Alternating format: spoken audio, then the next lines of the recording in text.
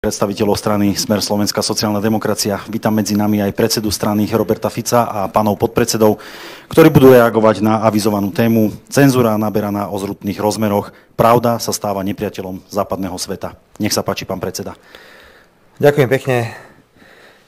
Je naozaj škoda, že nemáme kameru odtadiaľto smerom na médiá, pretože, pretože keby toto bola tlačová konferencia, napríklad, ja neviem, o únose vietnámskeho občana, tak tu je tu na Narvané, je tu asi 300 novinárov.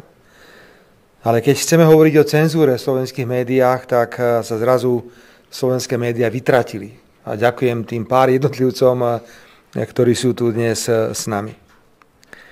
Dámy a páni, chceme reagovať na veľmi vážnu situáciu, ktorá vzniká ohľadne cenzúry na Slovensku, Nebudem hodnotiť situáciu v iných krajinách, pretože nemám dostatok eh, informácií, ale to, čo sme eh, videli a čoho sme svedkami na Slovensku v posledných týždňoch a mesiacoch, je neakceptovateľné.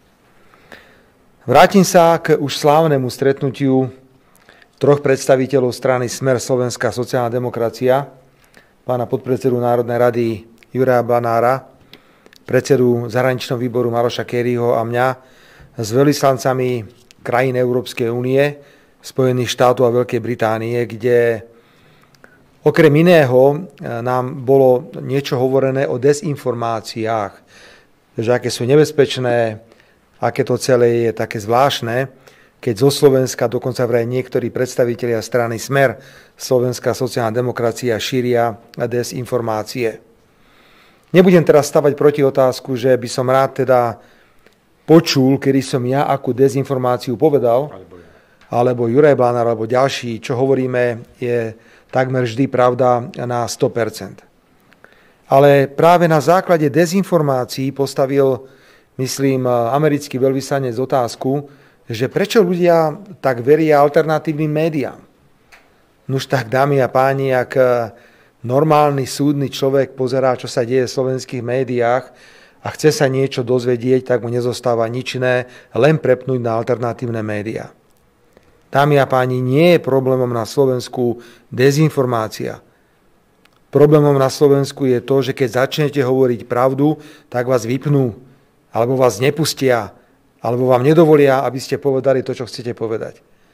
Ja sa nesťažujem, som predseda najsilnejšej opozičnej parlamentnej strany, ale ak e, sa pozrieme na moju účasť v hlavných diskusných reláciách, v hlavných televíziách za rok 2022, tak som bol v tretine relácií v porovnaní napríklad e, s Borisom Kolárom alebo s Petrom Pelegrinim, ale to nie je sťažnosť.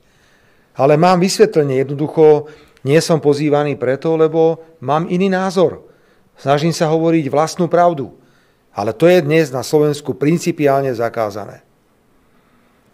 Chceli by sme zaprotestovať proti tomu, ako sa televízia Teatry vysporiadala e, s mimoriadne vážnym interviu, ktoré mala s významným predstaviteľom, e, pánom profesorom Saxom.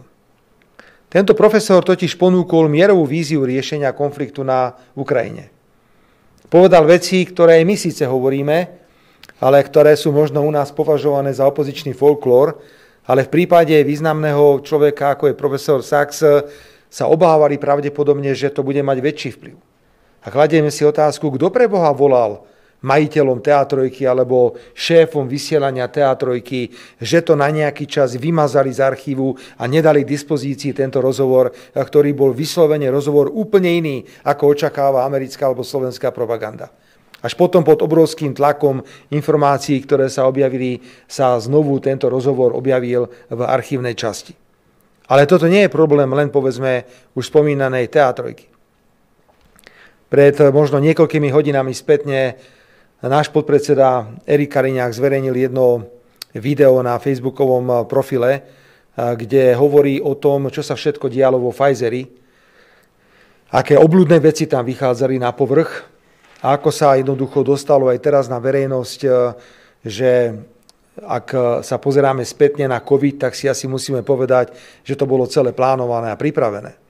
Nechcem ísť teraz do žiadnych detailov ohľadne covidu, ale chcem ísť jednoducho do toho, že ako náhle sa tieto informácie objavili, ako nále bol nahraný významný predstaviteľ Pfizeru, ktorý všetko priznal, tak tohto človeka vymazali za niekoľko hodín zo všetkých sociálnych stránok a snaží sa celý svet urobiť všetko preto, aby pre Boha sme nedošli na to, čo to Pfizer vystrájal, pokiaľ išlo o pandémiu covidu. Dámy a páni, sme v situácii, kedy smer Slovenská sociálna demokracia nebojuje len za sociálnu stránku života. Ja by som nikdy nepovedal v roku 2019-2020, keď prichádzali ďalšie parlamentné voľby, hoci sme videli, ako bola zneužitá vražda mladého novinára, že to bude téma právneho štátu, demokracie, základných ľudských práv, za ktoré bude musieť smer Slovenská sociálna demokracia a bojovať. A chcem znovu odkázať celej slovenskej verejnosti. My tu nebudeme americkí poskokovia. My tu nebudeme šíriť tupú západnú propagandu. Ak dovolíte, my sme strana, ktorá je jasne orientovaná na vzťah k Európskej únii. My si jasne uvedomujeme význam euroatlantického spojenia, ale to neznamená, že budeme na dennej báze šíriť blbosti. Na to tu jednoducho nie sme. Sme suverénni ľudia, sme dospelí ľudia a máme dostatok informácií na to, aby sme si mohli dovoliť povedať na niektoré udalosti iný názor, ako, pre, ako prezentuje oficiálna propaganda. Pani Čaputová, pani prezidentka, Očkovanie teda nebola sloboda. Teda naozaj sloboda nebola. A tiež by si, sme si ale niekedy postaviť otázku, akú úlohu zohrala prezidentka v propagácii výrobkov Pfizeru a výrobkov ďalších eh, farmaceutických eh, firiem. Dámy a páni, dnes je stav na Slovensku taký, že ktokoľvek hovorí niečo iné, ako si želá západná propaganda, hoci to nie je pravda, musí byť odrezaný od všetkých možných zdrojov informovania, prípadne musí byť v politike izolovaný. Dovolte mi krátky príbeh, eh, ktorý musím povedať slovenskej verejnosti, pretože ho považujem za mimoriadne dôležitý. V roku 2000, eh, kedy bola vojna v Iraku 4? V Iraku, keď 3. Eh, v roku 2003 bol smer opozičnou politickou stranou a hlasovalo sa v parlamente o vyslaní vojakov do Iraku. My sme jasne povedali, že nesúhlasíme s účasťou vojakov v Iraku.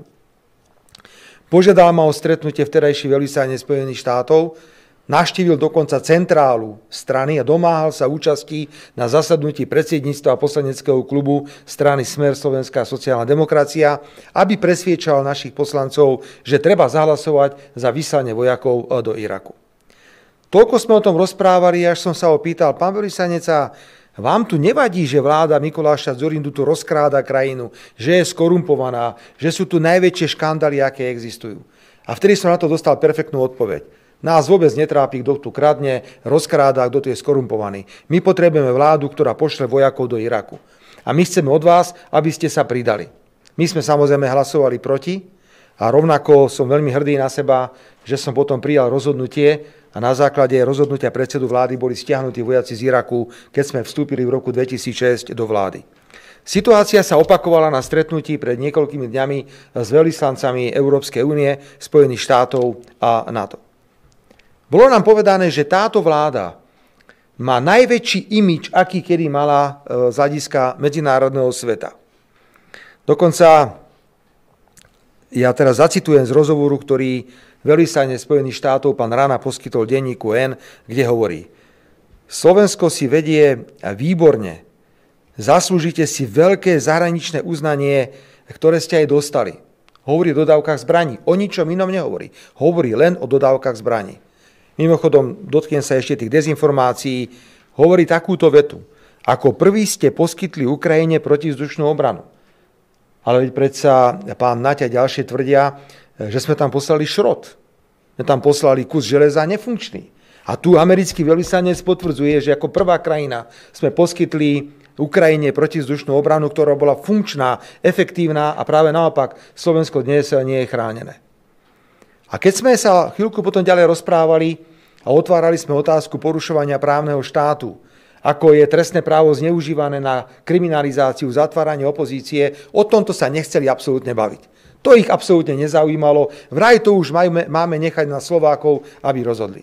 Jednoducho, môže táto vláda na Slovensku vraždiť, zabíjať, zatvárať, porušovať ľudské práva, čokoľvek na svete môže robiť. Má požehnanie od americkej ambasády. a od ambasád západného sveta. Pretože sú dôkazy na stole nie na základe našich e, poznatkov. Máme tu 21 rozhodnutí ústavného súdu, ktoré hovoria o hrubom porušovaní ľudských práv.